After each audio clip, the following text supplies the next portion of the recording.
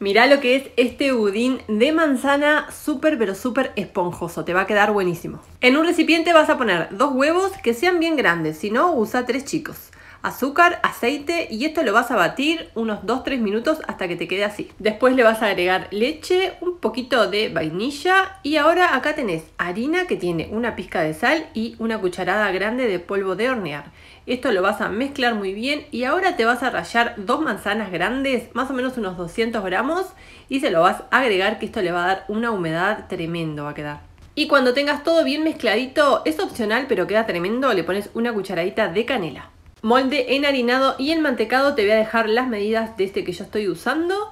Y ahora mira lo que hice arriba fue decorar con unas rodajitas de manzana y le pones un poquito de azúcar por arriba y lo mandás a 180 grados unos 50 minutos. Lo pinchás con un cuchillo si sale limpio está listo. Lo podés decorar con un poquito de glacé por arriba o simplemente un poquito de almíbar y te queda listo. Hacelo y contame